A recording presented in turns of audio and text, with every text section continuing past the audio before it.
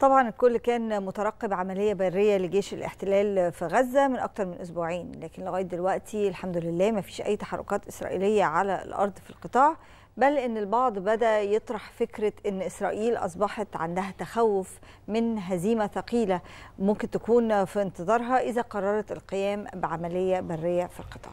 خلينا نتكلم طبعا عن عدم قدرة إسرائيل على الاجتياح البري لغزة. طبعا إحنا كل شوية بنسمع حجج زي ما بنقول أصل السماء ملبدة بالغيوم فالقوات الطيران مش هيقدر يأمن العملية البرية. كل شوية بنلاقي في حجة وعلى مدار أسبوعين إحنا بنسمع كل فترة حجة لكن حتى الآن مفيش أي تدخل بري.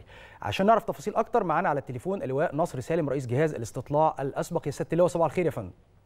أهلا صباح الخير محمد صباح الخير منا صباح الخير على كل المشاهدين في كل مكان. يا أهلا بحضرتك. هل قوات الاحتلال قادرة على العملية البرية؟ اللي بتعمله إسرائيل دلوقتي ليه سبب مهم جدا إنها غير قادرة على عملية الاجتياح البري.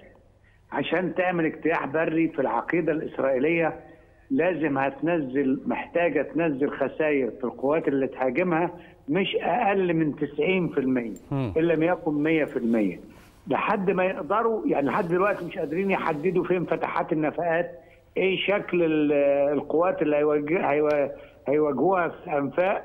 وبالتالي هم عمالين يؤملوا آلة القتل في المدنيين العزل بالشكل الخسيس اللي إحنا شايفينه ده. وحد ما هم يكتشفوا فين الأنفاق يعني هم بس وانس يكتشفوا لو حتى فتحتين نفق هتلاقي ضربوا القنابل الزلزالية اللي بعتها لهم أمريكا دي فيها.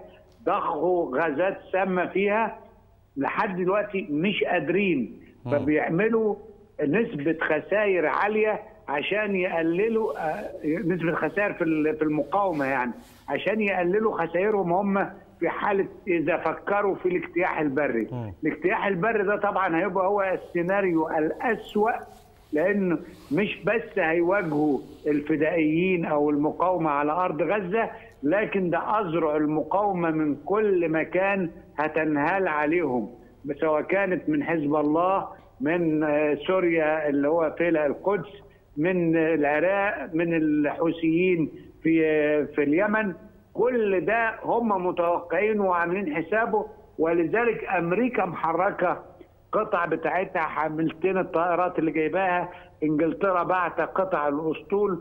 كل ده عشان تعمل ردع لاذرع المقاومة. لا تتدخل وتسيب إسرائيل تعمل آلة القتل بتاعتها في الفلسطينيين العزل.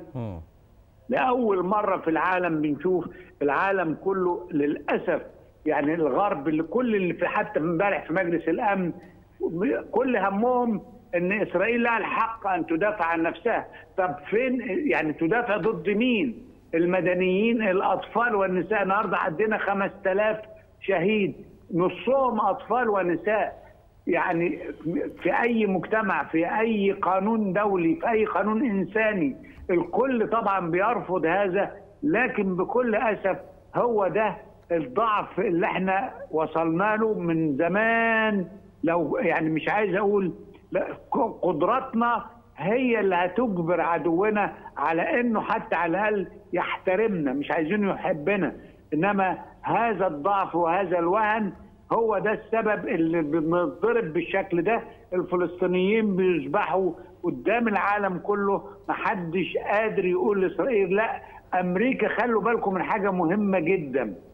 اللي بتعمله أمريكا مع إسرائيل النهارده يعني ده طبعا مش هيخلي الناس تحب إسرائيل على الأقل المحيط العربي ودي اللي أمريكا حريصة عليه أن تظل إسرائيل منبوذة من المحيط العربي مكروهة باستمرار لكي تكون هي إسرائيل دائما في حاجة إلى أمريكا عشان ما تقدرش تعيش من غيرها. وبالتالي أمريكا بتستخدم إسرائيل استخدام وظيفي في هذه المنطقة لإخضاع المحيط العربي بالاعتداءات الإسرائيلية محتاجين أسلحة يبقى برضه بنجيبها من أمريكا عشان نحارب بها إسرائيل. الاحتواء المزدوج اللي بتعمله أمريكا ده هي اللي بيخليها تبقي على إسرائيل تساعد إسرائيل أن تتوحش بالشكل اللي إحنا شايفينه لكي تظل دائما الاثنين علاقتهم مرتبطة ببعض ينفذوا مصالحهم ينزلوا الخسائر دي المستفيد الوحيد من اللي بيحصل في المنطقة دي هي أمريكا طيب سياده اللواء لما لو لو. إسرائيل أقدمت على عملية برية غير محسوبة هل هتبقى دي آه، فرصة المقاومة الفلسطينية في الثأر؟ ما فيش شك ولذلك ما إحنا بنقول إيه ده أحد السيناريوهات وبنسميه السيناريو الأسوأ أو السيناريو المتشائم اللي إسرائيل لو لجأت ليه طبعا هتعرض الرهائن للقتل الأسرى للقتل وإن كانوا هم عندهم قانون بيبيح لإسرائيل إنها تع- هي نفسها اللي تضرب القتلى بتوعهم الأسرى بتوعهم تموتهم. ده شيء وارد. إنما بالنسبة للرهائن هتجد لسه الدول اللي ليها رهائن سواء كان كل الدول الغربية وتلاقي ده بيتكلم على رهينة وده على اثنين وده على عشرة. هو ده أحد الأسباب اللي يمكن بيضغطوا على إسرائيل لا. بس أنا في رأيي لو إسرائيل قدرت تنزل نسبة التدمير اللي بقول عليها أكثر من 90% في المقاومة هتجتاح ولن تعمل أي بال لرد الفعل العالمي ولا للشارع الفلسطيني. يعني هم عايزين يثبتوا وجودهم حتى على الأقل قدام العالم ردا على عملية طوفان الأقصى اللي كانت صفعة قوية جدا. للجيش الإسرائيلي ولكل الأنظمة الإسرائيلية سواء كانت استخباراتية أو أي آه، نظام فيها.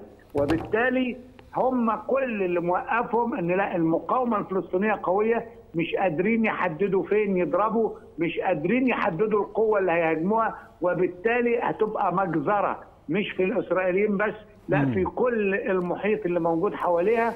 وده يمكن اللي مخليهم منتظرين. يعني ممكن الحال يستمر على كده قد إيه؟ ممكن شهر ممكن شهرين طالما استمر الحال بالمنظر ده مش قادرين يحددوا فين عظيم المقاومه جدا. اللي هيضربوها. طيب سيادة اللواء آه، ريتشارد هيخت وهو المتحدث باسم قوات ال- الاحتلال قال الكل بيتحدث عن عملية برية لكن من الممكن أن يكون هناك أمر آخر دون الإفصاح عن مزيد من التفاصيل. السيد أيضا دانيال كيرتز وهو كان سفير للولايات المتحدة الأمريكية في إسرائيل من عام 2001 ل 2005 اتكلم قال برضو إنه من الممكن إنه ما يكونش فيه عملية برية لكن من الممكن أن تتم على مراحل. نفهم إيه من هذه التصريحات؟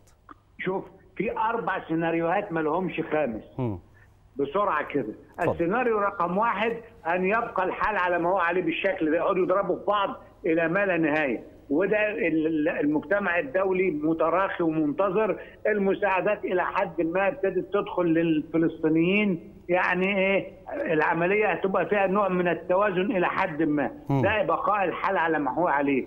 الأكثر احتمالا بقى اللي هم بيتكلموا عليه دلوقتي إن خروج المقاومة زي ما خرج عرفات من لبنان سنة 82 حماس كلها تخرج كده وتاخد معاها الرهائن وتاخد معاها الاسرى وفي دولة كبيرة تاخدهم توديهم إلى منفى مختار قد تكون إيران ويروحوا هناك ويسلموهم الاسرى يبقى كده حماس حفظت نفسها دون تدمير ودون إراقة دماء وأيضا حافظت على الرهائن وعلى الأسرى وقد يكون هناك أيضا تبادل أسرى من السجون الإسرائيلية.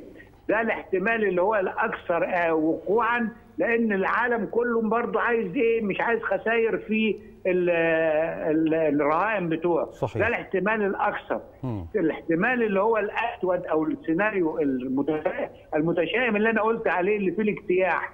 السيناريو الرابع وده السيناريو المتفائل إن يقدر الأمم المتحدة ويقدر المجتمع الدولي يضغط ونعمل وقف إطلاق نار ونتفاهم ويبقى في تبادل اسرى في إن منظمة التحرير تبتدي تتدخل وهي اللي تحكم في غزة وإن كان طبعا هم بالشكل ده يعني حماس بقدر الإمكان هتقدر زي ما بنقول نبدأ تاني نتكلم في حل الدولتين وتستمر الأمور في تمام يا فندم، وصلت الصورة. زي ما حصل قبل كده في الرصاص المصبوب وعمود الغيم والجرف الصامت وكل ده انتهى بالمفاوضات واتحلت سلميا. شكرا جزيلا سيادة اللواء ناصر سالم رئيس جهاز الاستطلاع الأسبق. ألف شكر لحضرتك.